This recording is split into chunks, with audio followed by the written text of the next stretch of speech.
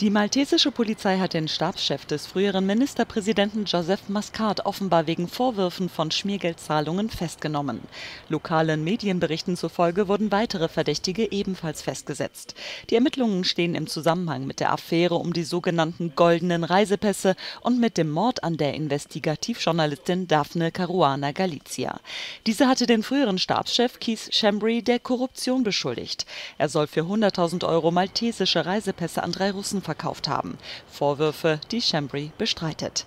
Die Affäre um die sogenannten goldenen Reisepässe begann 2014. In ihrem Blog schrieb Caruana Galizia über die Ermittlungen. Chambry trat im vergangenen November zurück, bevor auch Ministerpräsident Muscat sein Amt niederlegte.